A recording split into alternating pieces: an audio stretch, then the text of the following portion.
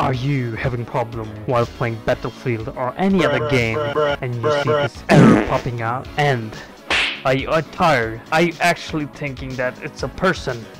Well, it's not. Excuse me, bitch. Because it's a bot. Or is it?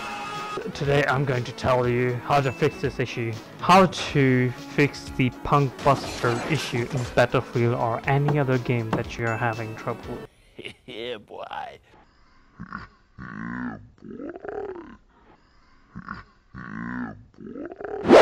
Hello and welcome back, this is Corvo GD and today I'm gonna tell you how to fix this PunkBuster problem permanently. Time to get serious. Okay, so first off, you have to go to the main website of Punkbuster. I'm gonna put the link in the description as always. So it's just you have to go to the Punkbuster and you have to download the PB setup, okay? After you end this window, you have to download the for all Windows, of course, the operating system which you're using. So after you've done that, you will see the PB setup in your downloaded folder. Now extract it and you will see this uh, file over here. Okay, now after you have opened that, uh, just make sure you have the Punkbuster up to date. Just make sure, just just do that. Okay, just do, do that. it. Yeah, thank you. After you've done that, you have to click on add a game. Now you have to search for the game which you're having troubles with. I'm gonna click on Battlefield 4. Yeah, of course, why not?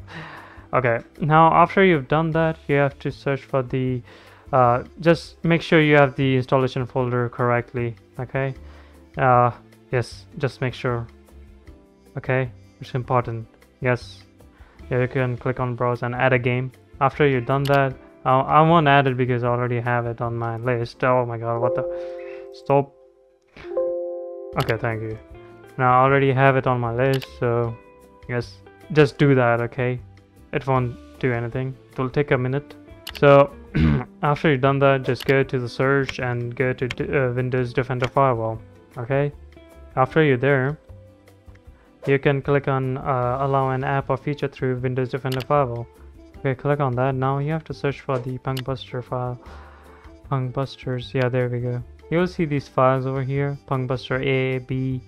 Okay, now you have to, if you just make sure you have the green ticks over here. If you don't see it, then you can click on change settings and you can do for all of these and click on OK. If you don't see these Punkbuster files at all, then it's quite simple. You have to go to the Steam folder. Now you have to go to the installation folder where you have the Battlefield. Now you will see this file. Just click on it, run it, and click on it, and this window will pop up. It will say install, reinstall Punkbuster servers. You have to click on next and click on I agree, and it will run some tests over here. Click on next.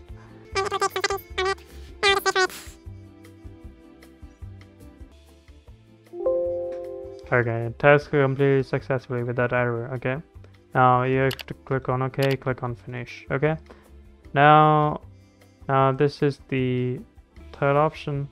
Now you have to go to Windows Defender Firewall again. You have to go, go to Advanced Settings. Okay, now you have to go for Inbound Rules. You have to yeah, just click on Names here. Now you have to search for the Punkbuster files which we found here earlier uh, yeah there we go now you have to click on properties program and services and click on this uh, option all program that meet the specified condition.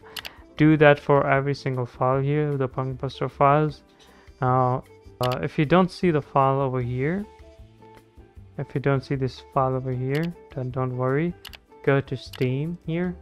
Now go to battlefield properties and search for uh, search for local files. Then you have to verify the game files so sometimes it's just the battlefield 4 is uh, missing some files. Or the files has been corrupted so it will download some files.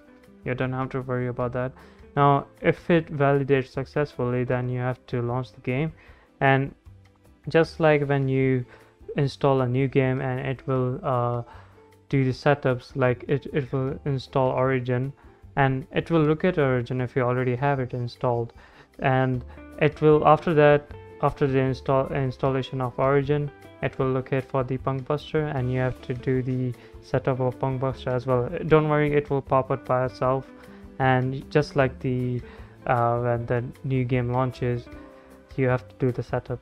And then after stun you will see the file here the punkbuster svc i did it myself pers- uh, personally. I did that and it worked now for the origin people who are using origin who bought the game on origin so just do that whatever i did and you have to verify the game files too from origin just like i did on steam and it should work. So yeah. Uh, if you're still having group problems uh, you can let me know in the comments below. And yes thanks for watching and i will see you guys later